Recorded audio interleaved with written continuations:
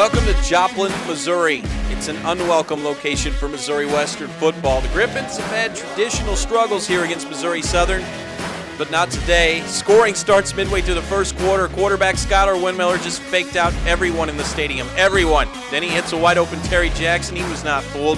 That's a 34 yard touchdown hookup. Western on the board and far from finished. Second quarter, they go to the ground. Running back Josh Caldwell. Wait for the blocking here. Check out PJ Bolton, the wide receiver, clearing the path.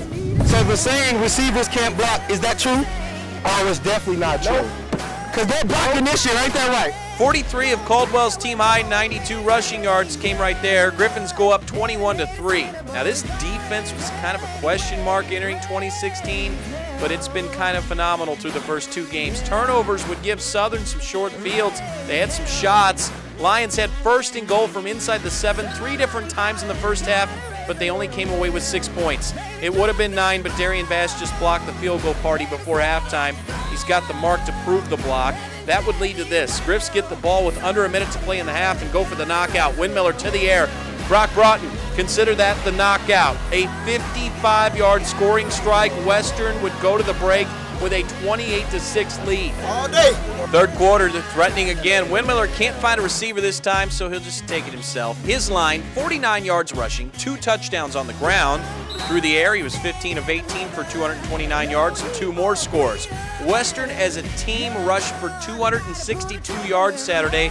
They also held Southern to just 30 rushing yards Saturday and that equals a 51 14 win. It's the Griffons' largest margin of victory in Joplin ever. They're 2 0 now, and they have outscored their first two opponents a combined 95 to 36 through two games.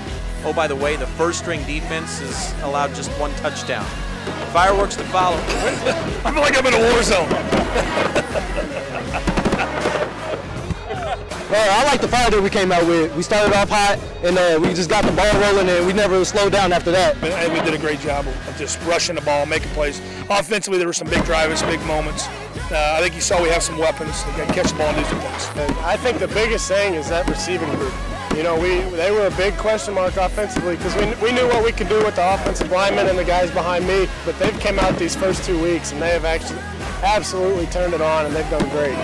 Our confidence level's going is getting better every week. You know, we we're finding out who we are and how we can play. You know, we're very very aggressive on defense, and then our offense is very explosive. They, they got different threats here and there, and we're just getting that confidence under our belt. You know, to be able to do that stuff. And, hopefully it just keeps on rolling from here on out. You'll see us again. You'll see us again next week when we face UCM on our home turf. Be there or be square.